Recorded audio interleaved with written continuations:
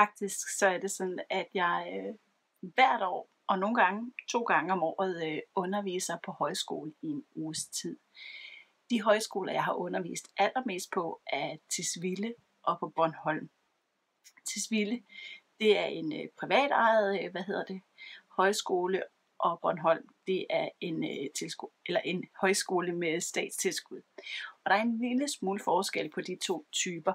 Det vil sige så, at øh, den på Bornholm, den kan du finde i, øh, når du bare går ind i højskolekataloget, så kan du meget let finde den. Hvorimod til Seville, den er ikke helt nem at finde, og der skal man øh, måske lige søge lidt ekstra. Og faktisk så ligger de ikke super meget øh, reklame på internettet, men en lille smule på Facebook. Det kan være svært at finde sådan et højskoleophold. Hvordan ved man, hvad det er, passer til en? Og det er heller ikke alle højskoler, der deler programmet i en øh, vældig fart. Det er nemlig sådan, at på de fleste højskoler, så, øh, så strikker de faktisk ikke frygtelig meget på højskolen. Når der er de her korte øh, ugekurser her, så hyrer de folk ind som øh, mig og mange af mine andre kollegaer.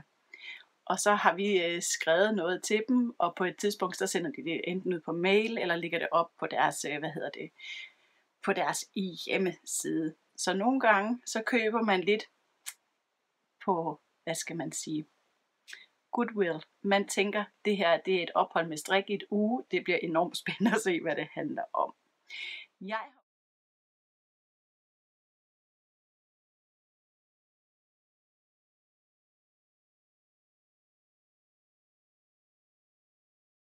Jeg har undervist på øh, Bornholms øh, Højskole i en uge i at strikke med farver. Og det er et ophold, jeg plejer at have sammen med min kollega Ruth Sørensen. Men af mange forskellige årsager, så blev det ikke sådan i år. Og det er ikke fordi Ruth og jeg vi er blevet skilt.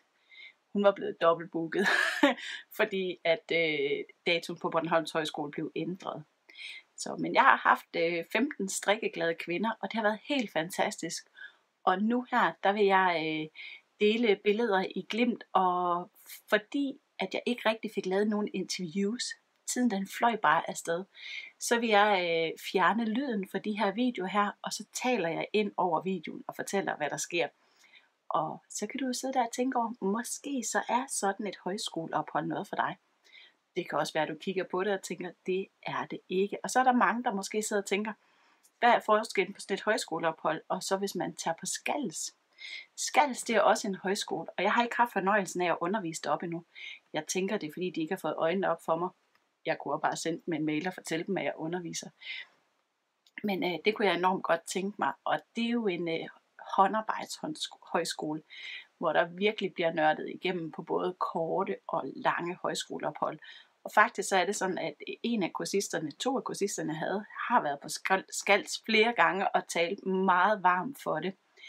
Det de ikke talte helt så varmt for, det, det var, øh, øh, at når man bor der og når man spiser der, så er øh, mad og bo faciliteter, det er ikke øh, det vildeste.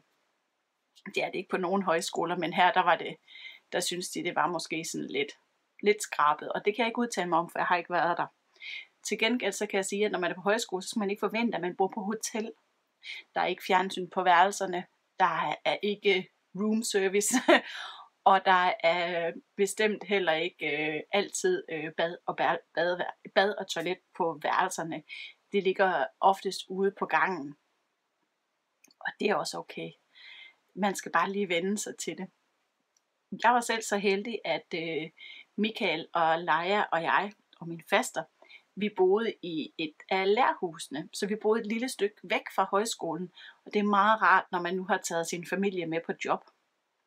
Og Leia, hun var rundt med far hele ugen, og jeg knoklede øh, igennem, og det har været mega fedt. Jeg er super inspireret af sådan en uge her, det har været så fantastisk. Så uden mere snak, kom og se med.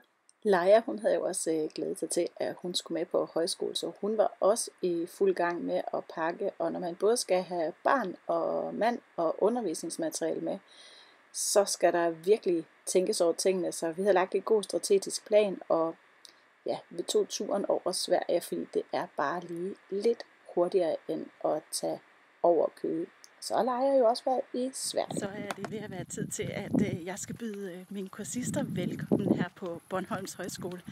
Men fordi jeg har familien med, så er vi indkvarteret hernede bagved. Så jeg har lige en lille tur derop, inden vi skal spise, og så skal jeg sige hej. Nu glæder jeg mig helt vildt, og er slet ikke spurgt nervøs for, hvordan det skal gå uden Rut. Men jeg savner hende altså stadigvæk.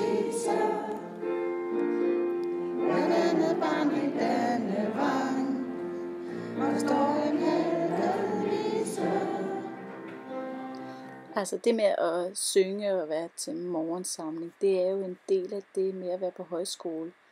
Og så også det med at blive forkælet. Vi var afsted sammen med to andre hold, et øh, vandrehold og et øh, outdoorhold. Og det betød jo, at det var ikke alle på højskolen, der strikkede, men man var bestemt aldrig i tvivl om, hvem strikkerne var. Og så var det faktisk sådan, at under de her foredrag her, der kunne man også nogle gange se andre, der strikkede, altså skabstrikkere. Dem, der ikke var med på holdet. Så ja, det var lidt sjovt, synes vi. Jeg har valgt her at starte bagfra. Det her det er simpelthen øh, kursisternes øh, slutprodukter. Det er altså øh, væggen den aller sidste dag, hvor alt var lavet. Og der var jo 15 skønne kursister, og vi arbejdede med vikleprøver og farvecirkler og strikkeprøver. Mega, mega fedt. Og ud over det med de her farveprøver, prøv nu bare lige at se her. Jeg zoomer lige ind her. For prøv lige at se, hvilken forskel det gør på, hvilken baggrundsfarve de her farvecirkler her, de får. Det er jo helt vildt. Hvor man kan se, at øh, grå det æder meget af farven, og hvid det fremhæver. Altså kursisterne, de fik virkelig gjort sig nogle øh, farveeksperimenter, som du selvfølgelig også sagtens kan gøre dig derhjemme. Nogle gange så er det bare meget sjovere at strikke den her type prøver her, når man er sammen med andre. Se bare her. Udover vikleprøverne, så strikkede vi også øh, grafisk gobelinstrik, og vi strikkede jo øh, is, som jeg altid gør med mine kursister om sommeren. Se lige den her sabis her, den er for vild. Det allerførste, vi startede med, det var at tage alt vores medbragte garn og få det delt op i en flot farvecirkel. Og så gik vi i gang med at lave vikleprøver. Senere, der tog vi til Hammershus for at finde farveinspiration. Og vores inspiration kom til at gå rigtig meget i dybden med. Faktisk var det det, det handlede om hele ugen. Nu sad vi ikke bare indenfor og strikkede. Vi var så heldige, at vores øh, kursuslokale lå op af en enorm lækker gårdhave. Og ja, der sidder de nogle af dem og strikker og snakker og hygger sig.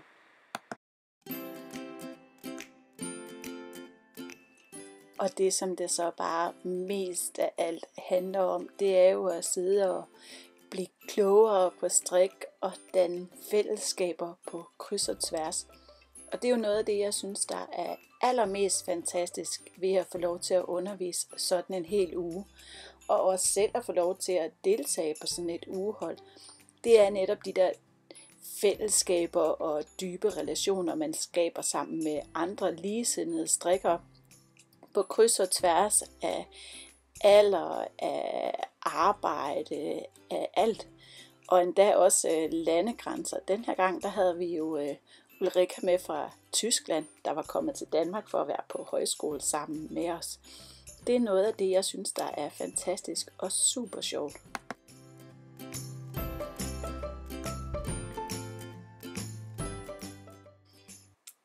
Og ja, selvom man kalder Bornholm for Solskinsøen, så slap vi da ikke øh, for sådan en ordentlig omgang massiv regnvejr. Heldigvis, så skulle jeg slet ikke undervise lige der, så jeg kunne bare sidde og nyde det og kigge ud på regnen. Torsdag, der pakkede vi igen vores øh, strikketøj og sprang på bussen en tur ud i det bornholmske landskab, og som altid med en buschauffør, der gladeligt fortalte lidt om øh, det bornholmske. Og det er jo dejligt, når man sådan er turist, at man kan få lov at høre lidt. Vi skulle besøge Lene fra Fredsminde Unica Design. Lene hun øh, håndfarver garn, og hun farver både med plante og med syrefarver. Og i hendes skønne, skønne have, der holdt Lene et øh, dejligt foredrag for os, der handlede om hendes arbejde med at farve garn. Og Heldigvis så var solen jo fremme, og vi kunne sidde og nyde hendes have, og vi kom ind og så hendes værksted. Det er delt op i to. Et sted, hvor hun farver, og et sted, hvor hun ligesom behandler farven. Og det er enormt spændende at se og høre om alt det her med at farve garn. Og noget af bonusen, vi fik ud af det, det var selvfølgelig, at vi kom til at shoppe en lille smule amok. Fredag der fik vi øh, besøg af TV2 Bornholm, der kom for at høre om øh, det, der foregik øh, på højskolen i den her uge. Og under videoen, der har jeg linket til hele udsendelsen, hvor du kan få lov til at se meget mere om de andre hold også. Og ja, selvfølgelig så skulle vi da lige se, hvordan vi selv så ud på tv. Tusind tak for hele holdet, der har meldt sig til at være med. Og ja, måske ses vi næste gang, jeg underviser på højskole. Hvem ved?